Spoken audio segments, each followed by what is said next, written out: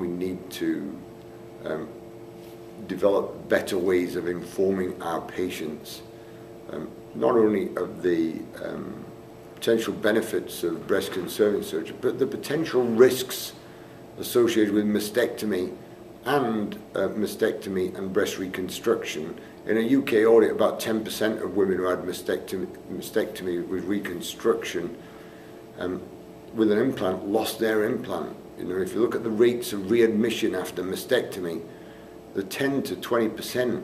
Um, and so mastectomy is not the panacea. And as I indicated, mastectomy is also um, not associated with any significantly reduced rate of local recurrence. So it's going to be an ongoing issue.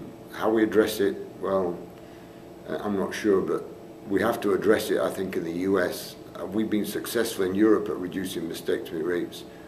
Um, it's difficult to know why there is that divergence.